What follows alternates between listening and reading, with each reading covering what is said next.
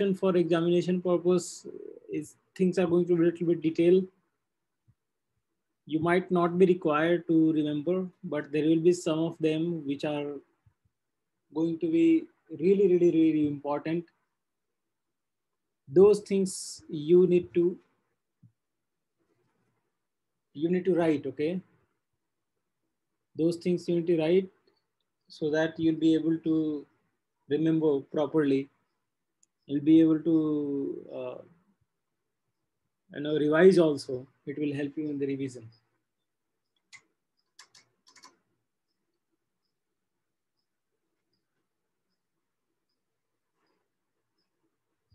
All right so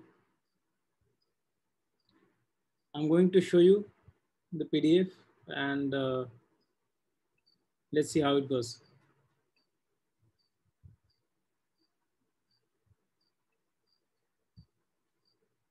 right. Um, this is the course book created by it's not actually book but uh, it's actually a presentation created by architect kevin spina. Basically you'll understand this whole thing like we understood about the indian one according to the timeline. This uh, presentation also is according to the timeline we are going to understand a little bit about prehistoric and some important things which figuratively you will need to remember. And after that, we'll talk about ancient civilizations where we'll discuss Egyptian, Ottomans, Greek, Roman. These will be four. And after that, we are going to enter towards classic period where it will be early Christians, a little bit part of the Rome, uh, um, Greeks also. I think Greek, this, this whole part is going to be the classic. Ancient between is merging towards the classic. Byzantine till there and Romanesque. And after that, we are going to enter medieval period where Romanesque, Gothic, Renaissance, all these things will do. And after that, neoclassicism will do in between and the modern. The whole timeline is like that. Do you want to written the timeline according to the period wise? You can you can write it like that. Prehistoric. That's a separate period.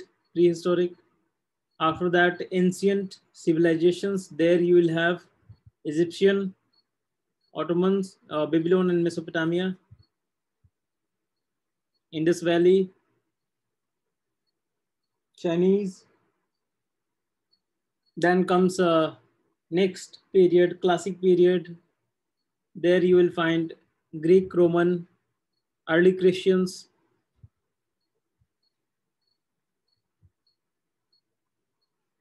Now from classic, we are going towards medieval period. There it has this very early medieval period. You'll find Byzantine, Romanesque, Byzantine, Romanesque, Gothic, and late medieval period. That's as Gothic is the central of medieval period. Late medieval period will be Renaissance. And after that comes neoclassicism. After medieval period comes neoclassicism period. There you will find uh, Baroque, Rococo, and uh, neoclassical style, typical neoclassical style. And after neoclassicism, you have modern period from uh, mid 19th century to whatever we are experiencing till whole uh, 20th century. And after 20th century, what we have 21st century, that is called postmodern.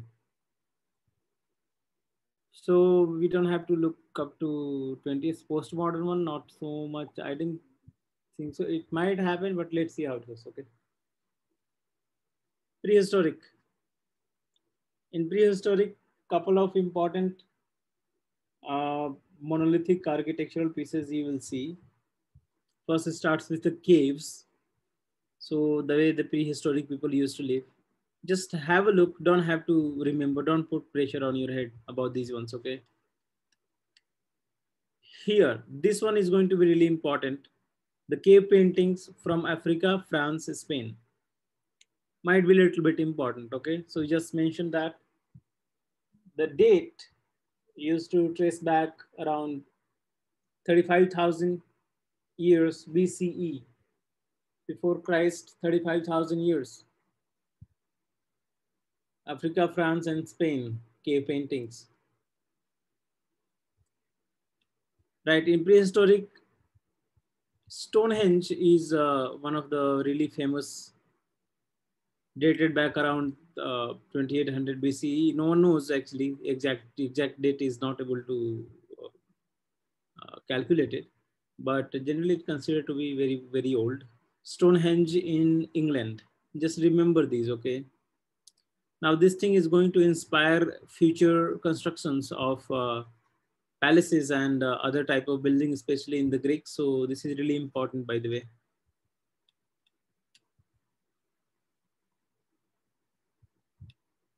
All right, so just remember that the photograph of Stonehenge. And do write that while you will go through this PDF, you will remember which one to look at and the information you'll be able to extract faster. Right, Near East. Near East uh, is the area where we say now the Gulf area, usually dominated by uh, Mesopotamian Empire, Mesopotamia and Babylon. And later it became Persia. And after that, uh, Ottoman Empire.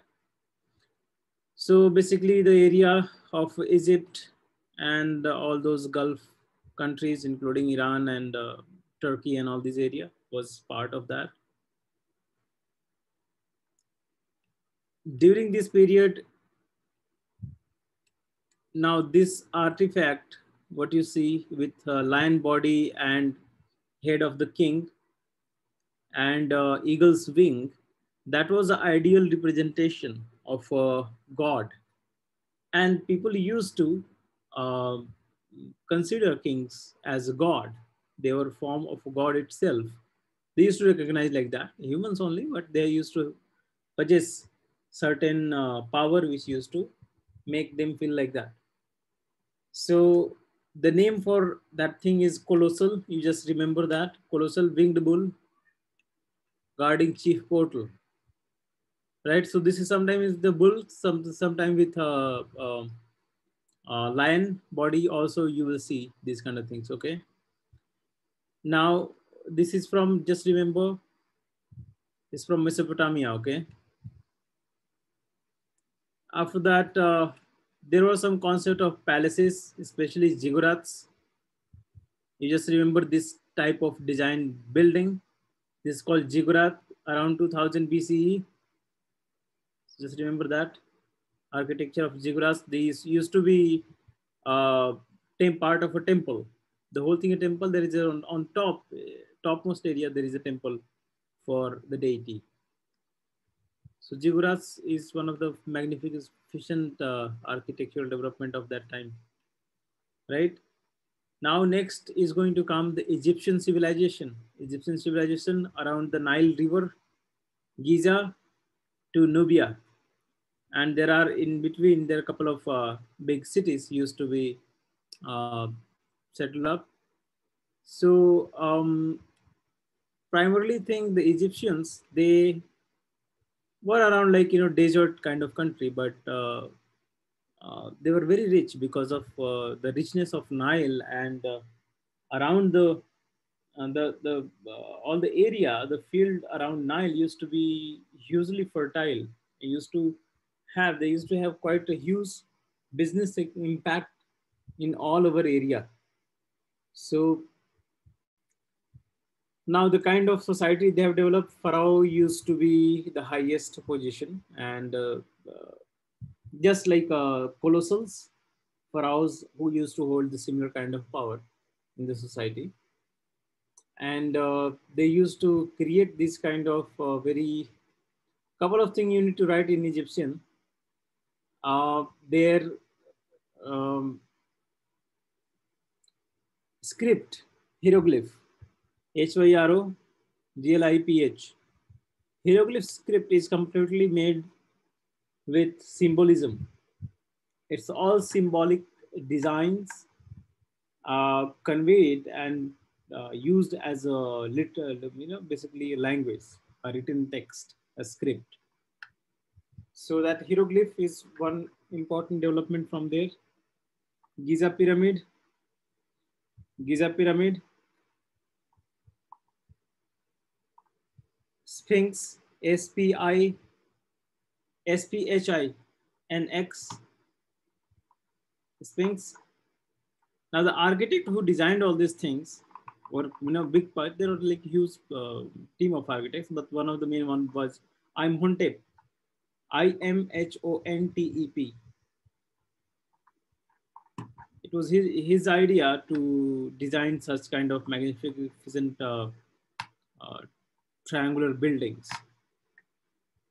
We know as a pyramids okay so you can see this is the okay this is this is what you see with lion body and the head of a human. This is called a sphinx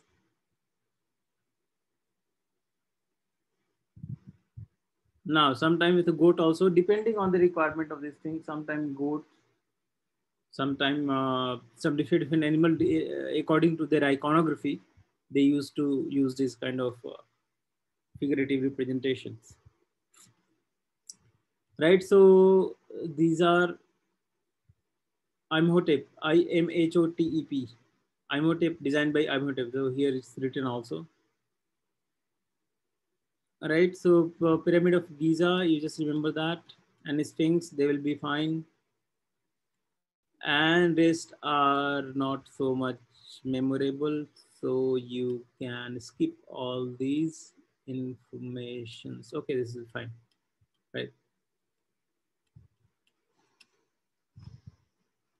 Okay, now moving towards after the Greeks, of course, we are not looking towards Chinese. We don't have so much information as well as uh, you're not going to get any kind of questions also from Chinese. From the beginning of time, they're like very secretive. So Greeks, with the Greeks, we are entering towards uh, classic period. And that dates back to around 1500 BCE to 300 BCE. During that period, there has been lot, lots of big development in architecture, especially because Greeks were quite a brilliant uh, mathematician, engineers, sculptors, they were brilliant. And they used to understand, uh, you know, the universal structure pretty good. And all these people, all these people you heard of, Socrates and uh, Aristotle, and there's so many other uh, Pythagoras, all those all those big mathematicians also. They left they left quite a big uh, mark on their uh, these engineering and architectural developments. So one of the primary development of architecture from that period, from the Greeks, you will find out the Greek temples. Uh, they called uh,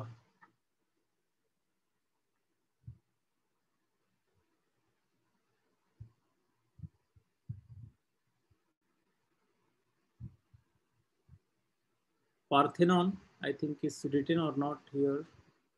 But you just write that Greek temples, Parthenon, P-A-R-T-H-E-N-O-N, Parthenon. Parthenon temple are these, okay? This kind of representation you will see of temples. Why, why it's not written here? This, they should write this thing, Parthenon. you don't have to study all these important details of architecture. I don't think so. It will be required so much. And uh, but you you can, you can you can give it a read. You can give it a read. You can draw also a little bit. It might become part of uh, architectural vocabulary because so many things what you what you find in modern architectural development, they were inspired from all these things, primarily from Greeks. So this might include Arais and Billet Coves, uh, Covet, all these things might the braces especially. These kind of are some some of them are for me also. I'm not an architecture student by the way. I haven't been, but for me also while we were studying these uh, culture, these names feels like it's uh, you know, these are famous things because I have heard of these things. So you may look forward to these things just for a sake of knowledge a little bit because these buildings were very futuristic and they have inspired the futuristic development as well.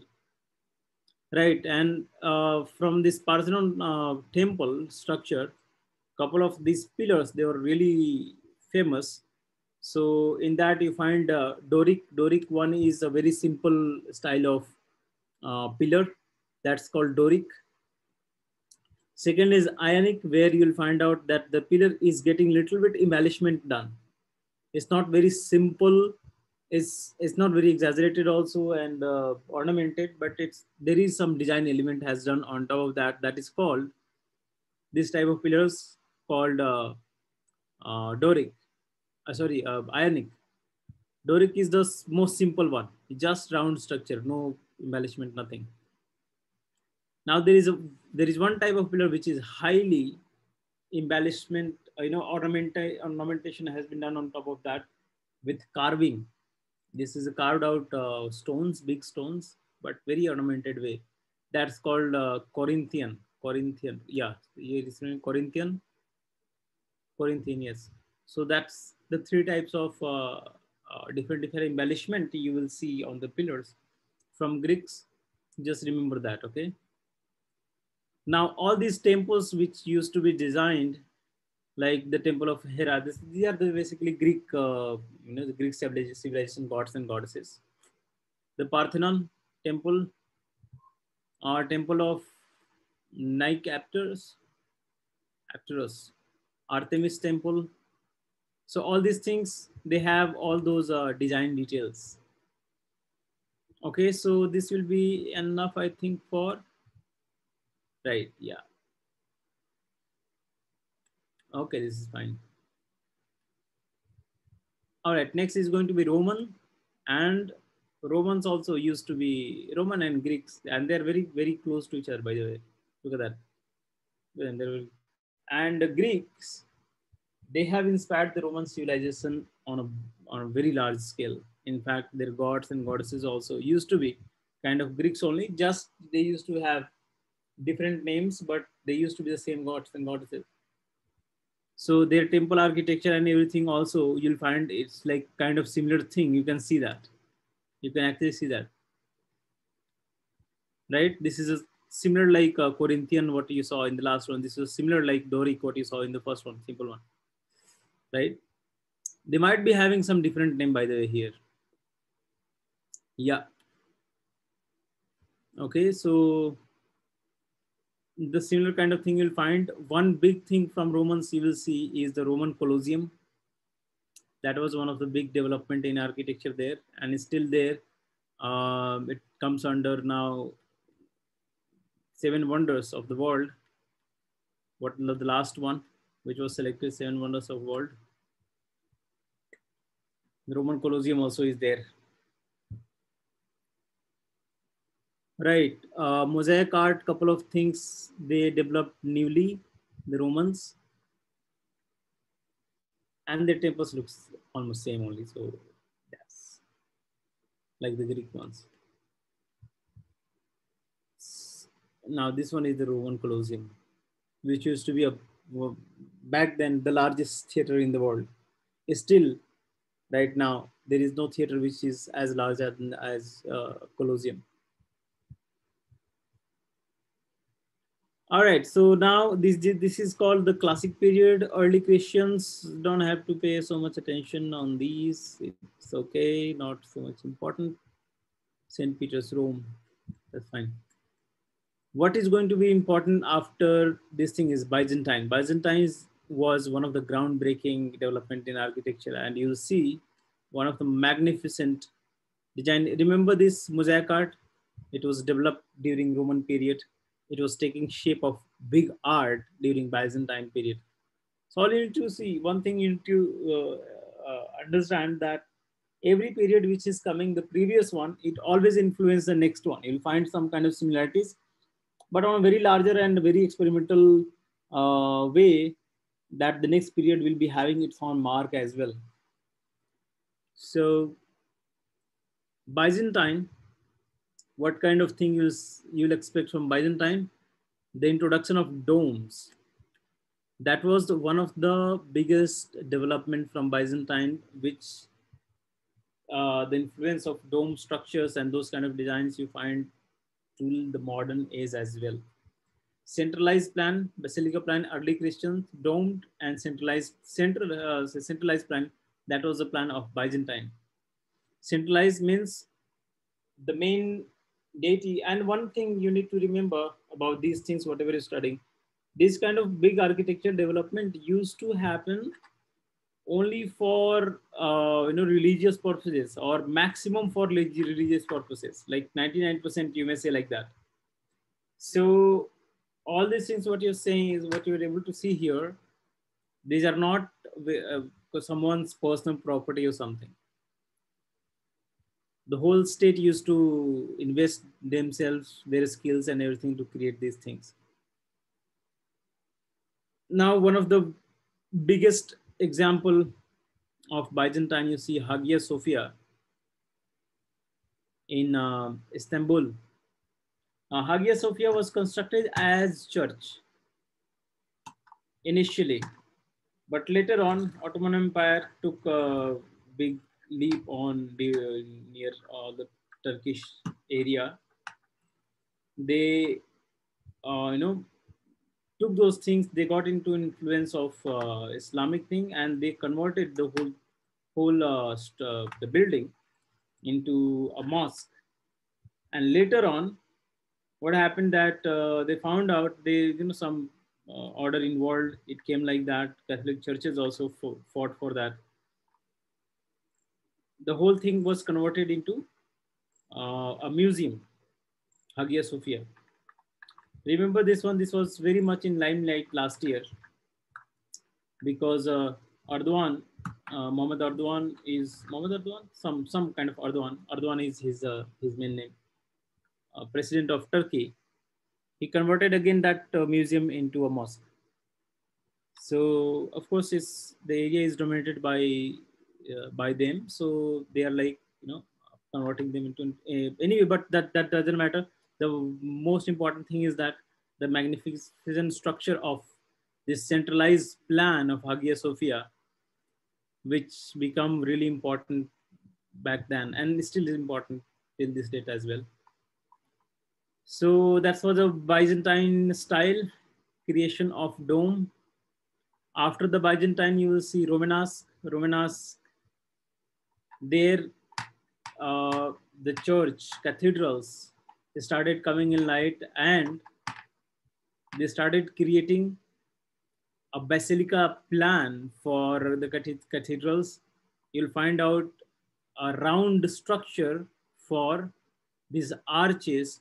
That was the one of primary development during Byzantine period. Sorry, Romanesque period. Romanesque. We are talking about the Romanesque. Okay, so this kind of structure, whenever you find in any building, just get it right away. It's belong it belongs to Romanesque period. Okay. Then Pisa Cathedral. You see all the arches on the windows from the entry gate and everywhere it's arc. Okay, it's done in arc way. Now this arc thing the Christianity use started growing a lot and they started creating larger, larger building slowly, slowly. The idea of creating a large structure converted the arc kind of structure of uh, the entrance gate and all the arches into a pointed structure. Okay, so the arches, uh, the arches instead of being uh, circular, curvy, it started becoming into pointy uh, structure.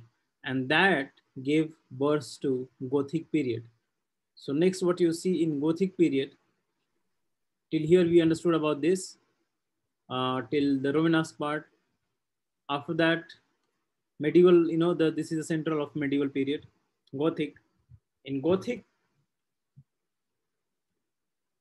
it's not only architecture, but slowly, slowly art started coming out of architecture and started having its own, uh, uh, you know, basically they started creating their own space for the artists, uh, artistic expression, paintings and other, other form of artistic expression as well. And what we are talking about, the arches, now you can see this pointy arch, which is going curved, but there on the top, this is little bit pointy, it's angular that was the that, that was achievement of uh, Gothic. And with the help of that, because the physics works like this, I'll send you a couple of videos about this one, how this works basically. Physics works like that, that they started creating a very huge, very large height for these, uh, uh, these cathedrals.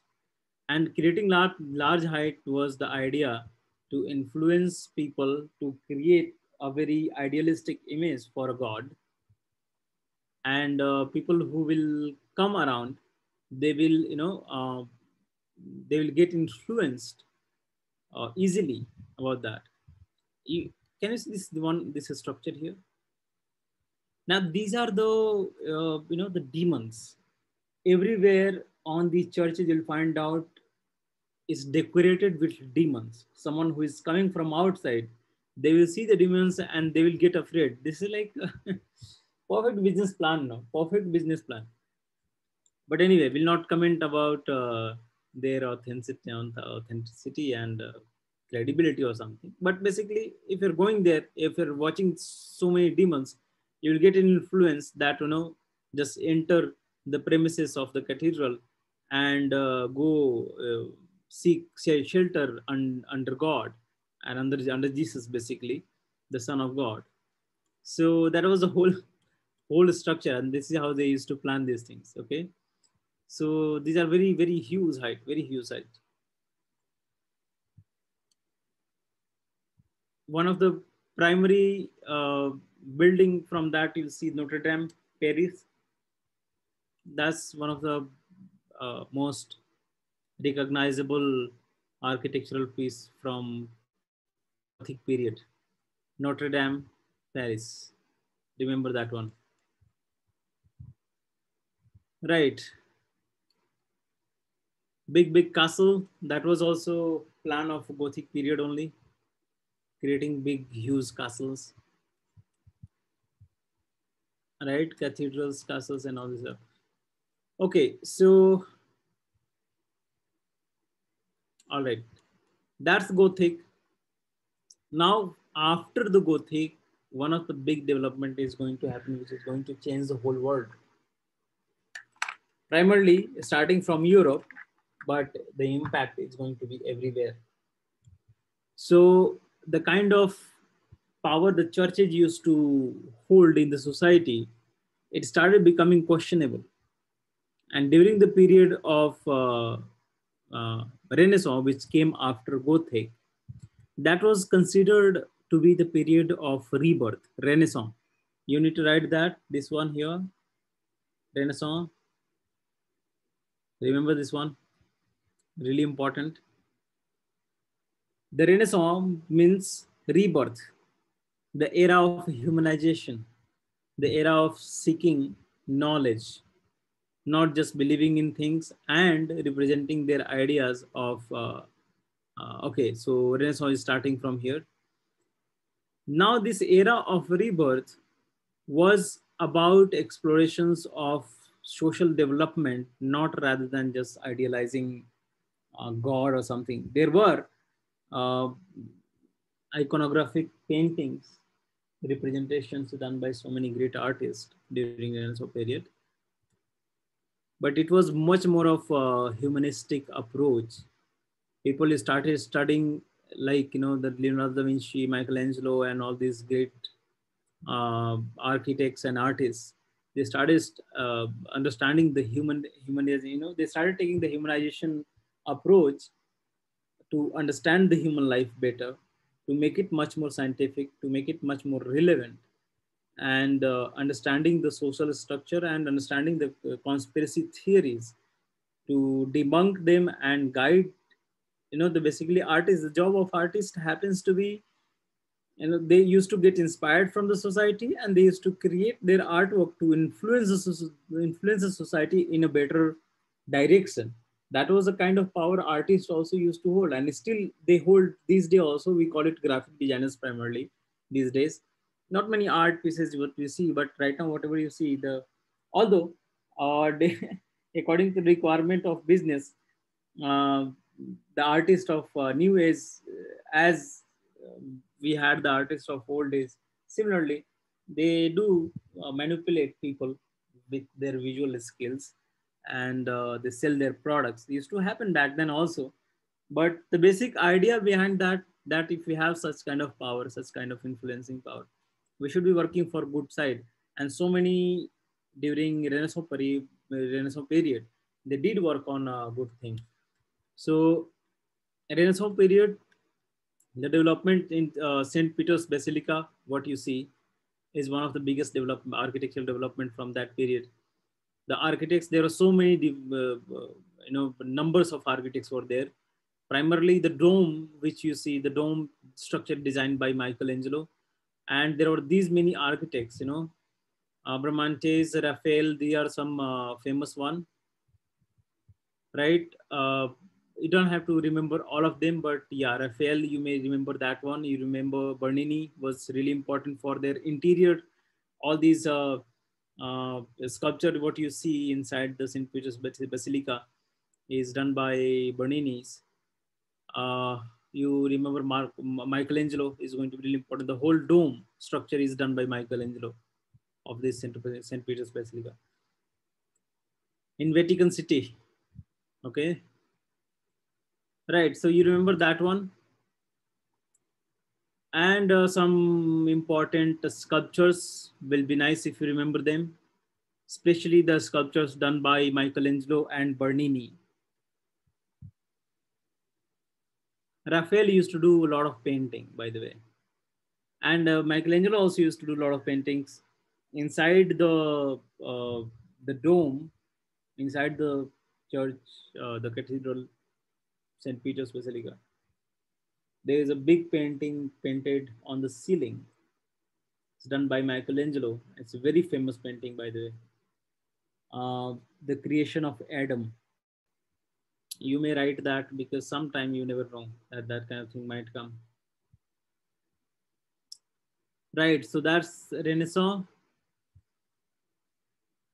After the Renaissance period, you'll find out Rococo Baroque, uh, so first came Baroque, which was very much embellished kind of structure you see in the Baroque period. Okay, we are coming here. So here it, the Baroque period was, okay, for one thing, the Baroque and Rococo was primarily focused on interior, interior designing, not like uh, architectural, big architectural development. They're primarily for interior designing. So um, the very embellished, beautiful exaggerated. Embellishments gold was gold, silver, metallic kind of uh, uh, colors used to be a big thing in Baroque and Rococo style. And Baroque and Rococo was not primarily done for religious purposes or iconography or something. It was possessed by those style, possessed by some, uh, you know, the private owners. They used to own those things now you will uh, you need to understand this part that how this uh, the whole religious kind of development converted into privatization of things how people started people started getting a uh, lot of uh, wealth and power in the society not just the state. It happened because of uh, industrial revolution. And the starting period of industrial revolution was the renaissance itself right during uh, uh, 16th century. That was the period uh, the mid renaissance was around around that time or maybe the late renaissance which started giving in 1600 only. In india also the east india company was started in 1600 So before before that only, you know, in six, early early 16th century, the industrial revolution started taking shape, and the you know the private players started gaining lot of control and power. The one who used to have business. So that's how it took shape, and uh, Baroque and Rococo. You got to see this thing, Baroque and Rococo thing. How beautiful that looks it looks beautiful it looks a little bit exaggerated also you know so not necessarily that it will be beautiful only because it, it's literally sometimes it's too much ROQ Baroque was still little bit you know in control but Rococo came like my god okay can you see these these designs highly embellished this is Baroque feels like Rococo this is the development of Baroque Rococo, you will see everything is gold. R-O-C-O-C-O. Rococo. And look at that. My God. So much, so much gold. Now this is the style. It's primarily done on the interior, not just architecture thing. Architecture is basic only. But it's heavily, heavily embellished.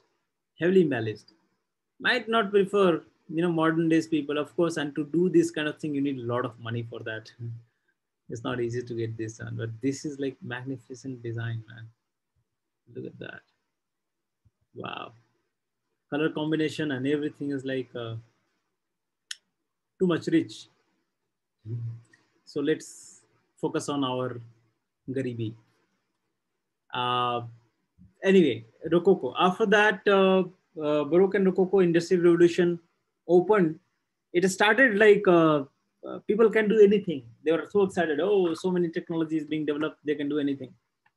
But later on, it took shape because of the industrial revolution. So many good things also happened. The death rate went uh, down pretty fast because of development in uh, health sector, uh, the ease of uh, transportation, the ease of doing business, and so many development happened that started creating a little bit easy easy thing easy approach in human life people started growing their population started growing rapidly and slowly slowly it took a shape of a different approach which was driven by the needs and there is one very famous uh, quote from a great architect i don't remember the name but you, you can write that quote which is which was given during uh, the ending of neoclassicism. We'll discuss neoclassicism a little bit here. I think it's is it there? It's not there. I think it's there only the 18th, 19th century. What you're what you're looking at. This is the neoclassicism period. So, um, the quote was the mm, okay. The form follows function, and that was the birth of modern period, where the embellishment became secondary issue and primarily it was all about fulfilling the need of basic, you know, first experiential based things. Not heavily embellished, but it has to be functional more. And after that, the form will develop according to little bit requirement here and there. So the idea was to form follows function, not function follows form. First is requirement is the function, and after that the form will be created accordingly. So the first idea of that thing, what you find uh, after this, first let's talk about the some couple of uh, big uh, buildings development during uh, neoclassicism period. Neoclassicism, just write that neoclassicism. In the USA, you see by the White the White House that is one of the biggest example of neoclassical building, the White House. The White House, after that you see in England, uh, the Buckingham Palace, in India also because India was under British.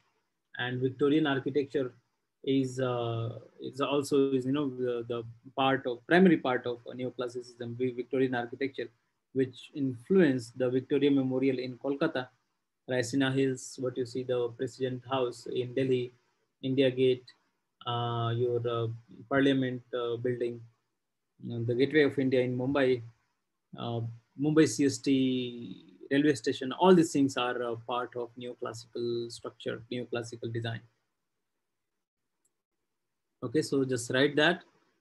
Victorian, early Victorian, high Victorian, and blah, blah, all this stuff. Right, now the form follow function. Then came the form follow function and that gave birth to modern architecture. And the first modern architecture, this one is considered to be first modern architecture, by the way. Uh, what is the name? Farmhouse. Richard Turner. Okay, this guy. I think this guy only, only said this thing form follow function. Richard Turner. Right, so this is the first design which was done by previously it, it used to be to do the pillars and all this stuff. There was use of uh, stones and uh, bricks used to be in use. Industrial revolution when we started getting iron on a very large quantity because of the mining and all these structures started taking shape with primarily the structure done with iron and on top of that covered with uh, plastic material, glass material, and so many other things, other artificial materials. The Crystal Palace, London, is considered to be one of the biggest, uh, okay, so one of the most remarkable building in 19th century. This was done for uh, exhibition in 19 uh, in 1851.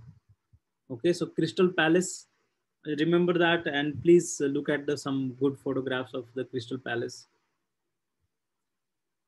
Right. Uh, later on, one big development, what you see, uh, it's done in a modern period, by the way, but the influence is from Gothic period. I think this is the one. No, this is not the one. There's a building designed by um, Sagrada Familia. Sagrada Familia designed by What's his name? And Sagrada Familia. That's one of the greatest architect architect of the all time.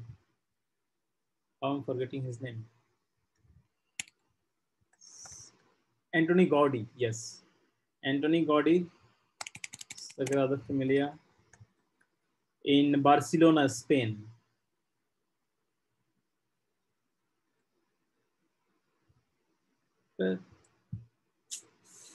Um, Sagrada, Sagrada Familia. Now this structure is inspired from a Gothic, by the way, but done in a modern period. Uh, inspired by Gothic, not like Gothic, inspired by Gothic.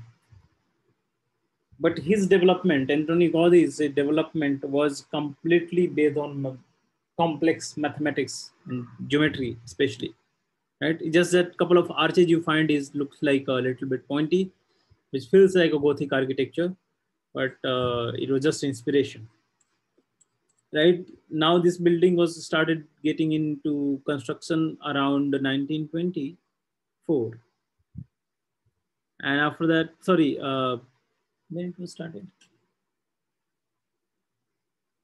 early 19.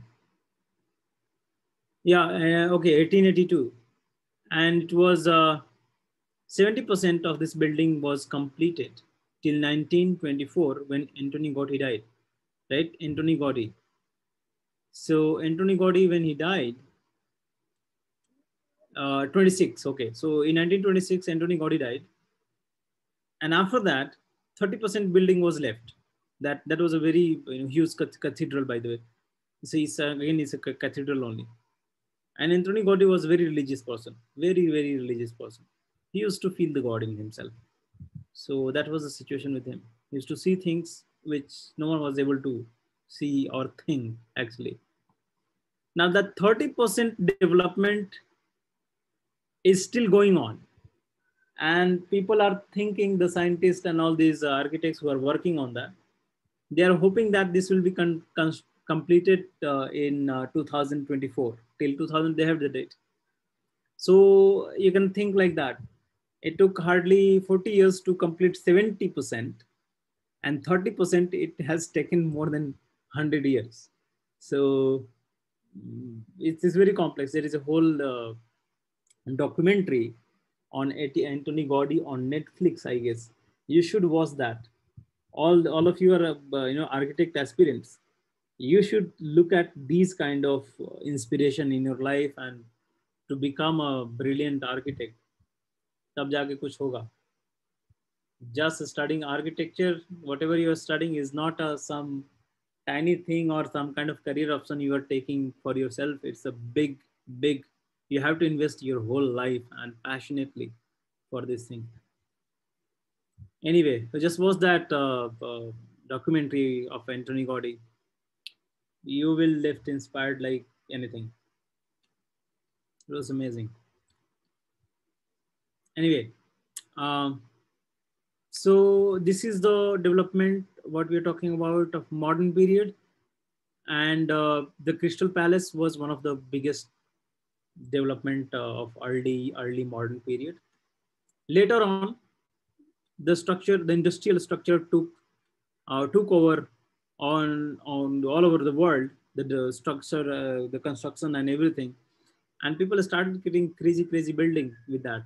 And some of them, like what you see, this one, um, the Eiffel Tower in France.